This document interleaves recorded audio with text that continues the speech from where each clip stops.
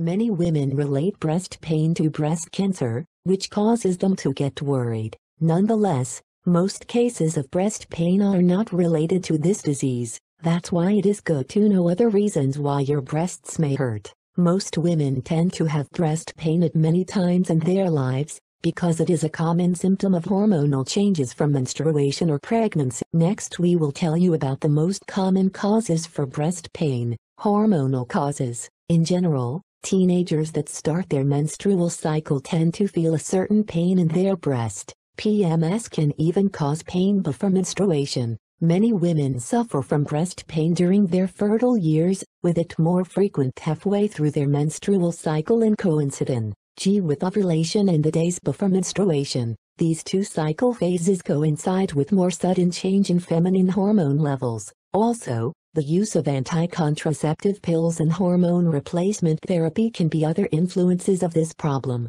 Pregnancy One of the first symptoms of pregnancy is breast pain. A woman tends to experience more sensitivity when they are pregnant at a young age or during their first pregnancy. Generally, during the first trimester of pregnancy they experience pain, their breasts grow in size, and blue veins become visible that indicate increase in blood flow. Breastfeeding When a woman has just had a child, she will tend to experience breast pain independent of if she chooses to breastfeed or not due to the increase in milk but you should pay special attention if the pain is frequent, intense, or doesn't improve, because it can indicate possible mastitis. Mastitis, this problem is an inflammation of the breasts, which comes from the obstruction of the milk ducts. This happens due to an infection in the breast, caused by a virus, bacteria, or fungus. The symptoms that you should be aware of are reddening in the breasts, pain, and especially fever,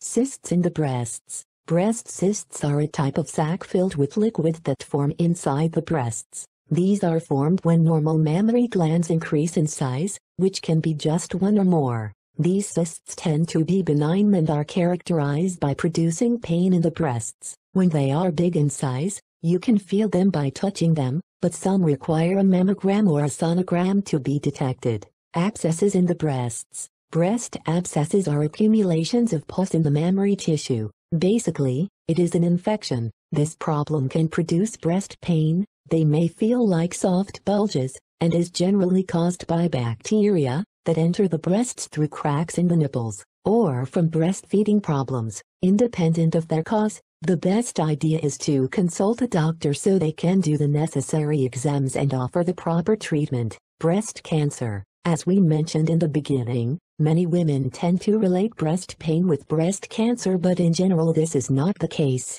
Breast pain is one of symptoms that takes the longest to appear when you are suffering from breast cancer. It is possible that if a woman detects any abnormalities in their breasts and treats it on time, they won't feel any breast pain from cancer. Recommendations for preventing and treating breast pain. Generally, it isn't necessary to take medicine to relieve breast pain. What you can keep in mind is that there are some lifestyle changes you can do to help treat and prevent this problem. Avoid wearing bras that are too small. Have a healthy diet that is low in fat and rich in fruit, vegetables, and grains. Keep a balanced weight because it will help stabilize hormone levels. Increase your consumption of vitamins B6, pyridoxine, vitamin B1, thiamine, and vitamin E. You can apply home remedies for pain like water lemon juice, vinegar, or coffee compresses.